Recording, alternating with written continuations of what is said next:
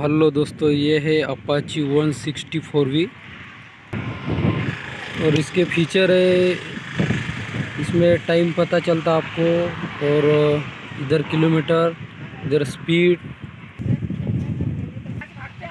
और इसका माइलेज है 50 का एवरेज देती है इसमें सिस्टम है, एक बाइक स्टैंड पे लगी है तो चालू नहीं होती।